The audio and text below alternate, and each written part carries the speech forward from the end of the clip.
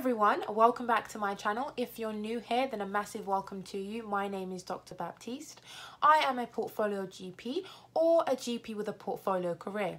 If you are new and you haven't subscribed, then why not consider subscribing because I have loads of useful videos to support you on your medical journey. Welcome back to the series Just What Can a GP Do? In this episode, we will be speaking to Dr. Rachel Morris, who is not only a GP but an executive and team coach, as well as the founder and host of the podcast You Are Not a Frog. She's going to be speaking to us about a number of things, but primarily about medical education. So if you're interested in medical education, then this is one not to miss. As always, if you enjoyed the video, then make sure you give it a thumbs up. This is what Dr. Rachel had to say. Hi, I'm Rachel Morris. I'm a GP. I'm also an executive and team coach, and I host the podcast You Are Not a Frog.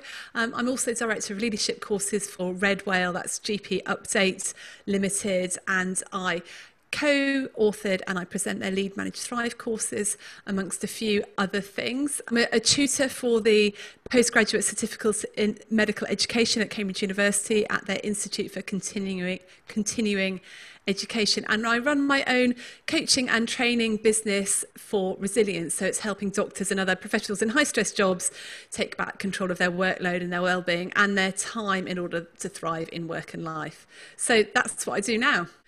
So, how did I get started in medical education? Well, when I was a GP registrar, the deanery were offering an extra six month placement as part of your training in a special subject of your choice. So some people did dermatology, some people did women's health. I did medical education. I was really lucky. I saw an advert um, for a placement at Cambridge University in the general practice education group. So I, I went there and learned a little bit about how to teach. I then worked there firstly as a locum covering some, I think, maternity or someone's sabbatical. I then joined them as an assistant director of studies. Uh, meanwhile, I also worked for a little bit at Homerton College as an associate lecturer for nurses, and I also worked a bit on the refugee doctors programme that was running at Barts and the Royal London at that time, helping refugee doctors get through their PLAB exams so that they could work in the UK. So um, I did quite a bit of stuff around medical education. I trained to be a communication skills facilitator uh, with Jonathan Silverman for Cambridge University, and I was basically teaching general practice and responsible for part of the undergraduate medical course for general practice.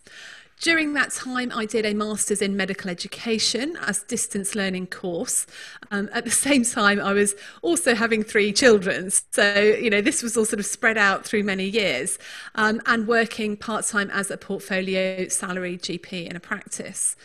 Um, after a while, after I'd got my Master's, um, the university asked me to look into what they were doing in terms of their professionalism curriculum. So um, at that point, there was a sort of new iteration of what the GMC expected medical students, medical schools to provide. And so I looked at where they were addressing issues of leadership and resilience and teamwork and patient safety and all those sorts of other skills that, that make you a, a good doctor. And I looked at where that was in the curriculum and um, mapped that out. And then I set up and led their doctor as a professional course for the university, which uh, examined all those sort of different different types of, of skills, really, which were, you know, in addition to the clinical skills that we need as a doctor. So as a result of doing that, I got really interested in, in resilience and the sort of leadership behaviours of doctors and why actually many of us probably weren't great at maintaining our own resilience or our own well-being or, you know, doing as well as we could do in terms of that. I realised actually quite a lot of the, the reason was we didn't have any training in it. And the great thing is that resilience is a skill, it can be learned. So that's when my interest in resilience came. Um, and at some point, I decided to do a little bit of a career change. I was feeling a little bit, a little bit stuck, um, a little bit like I wanted to try something different. So I got some careers coaching, which I found absolutely brilliant, really helpful. And um, just started to look into loads of different things. And as part of looking into that, I did a health behaviour change coaching course and learned a bit about how to coach patients. And I was really hooked at that point on coaching. I thought, wow, this is just an amazing approach. It really changed my life. It changed the way I approach conversations, the way I approach training, the way I approach everything. And I then decided to train to be an executive coach, not just for doctors, but actually for, for any professionals. So I did a, um, an EMCC coach practitioner course, which just was absolutely brilliant. I loved it. And as a result of that, I started going into various different organisations offering one to one coaching and also some training around well-being and resilience. I then went on to do a team coaching course and started doing some coaching with some various teams within organisations and with some GP surgeries.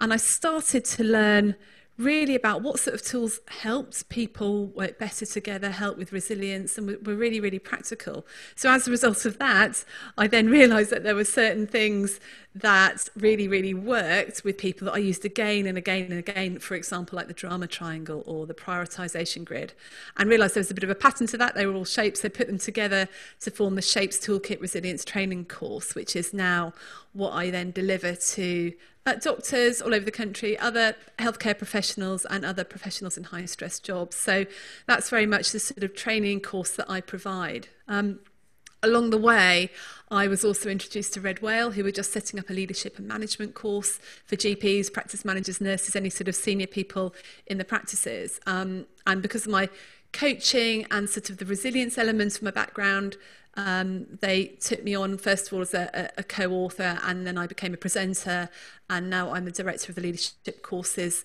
section for that. So that was just a brilliant um, a brilliant thing to do. Got some absolutely fantastic colleagues within that. Um, and yeah and along the way I also set up a, a podcast because I, I love listening to podcasts and I was just interested to know if I if I set one up would anyone be interested in it? Um, and basically it's everybody that I find interesting that I think actually that's an interesting topic. Let's talk about that. Because what I do really enjoy is hearing about new ideas, whether it be the business world or the world of coaching and resilience, and then translating that for doctors. I think sometimes the business world and doctors are, so, are really, really separate, and we don't often see much of an overlap, but there's so much that I can learn, and my colleagues in primary care and secondary care can learn about looking after ourselves, etc., etc. And actually, it, it, applies to any profession in a high stress job, not you know not just doctors. It's often lawyers, accountants, anyone who really has been promoted in, in their position because of their knowledge. Um, rather than because of their sort of leadership training. I guess again, it's good news. We can all learn this, but we often haven't been taught it. So, so that's where I am today, really.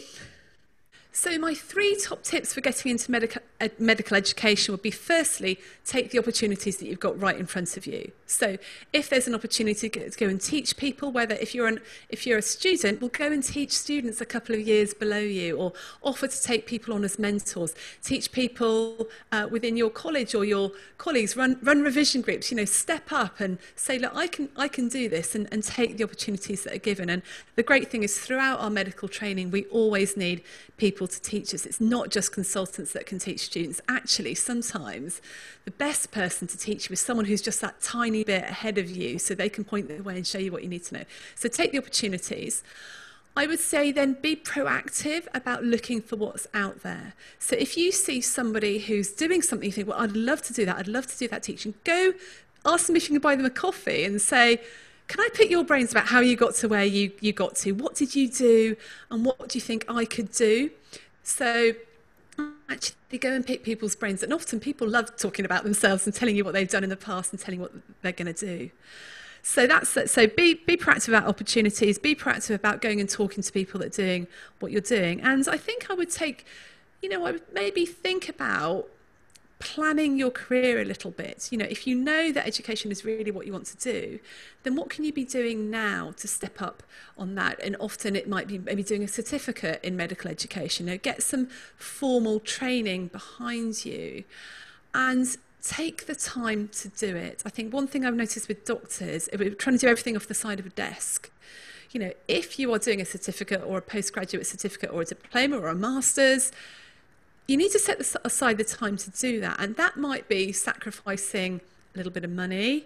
Um, it might be doing your training slightly slower than other people, but, but that's fine. You really need to invest in yourself because the opportunities will come. And the more of this stuff that you do, and the more people that get to know you, the more stuff will come up. So I say don't wait until things are advertised Go and find your own path yourself. So if you want to contact me, my email is rachel at wildmonday.co.uk. You can contact me on LinkedIn. I'm at Dr. Rachel Morris. Um, my podcast is called You Are Not a Frog. So if you Google that, you'll find it. Just just contact me in any of those ways.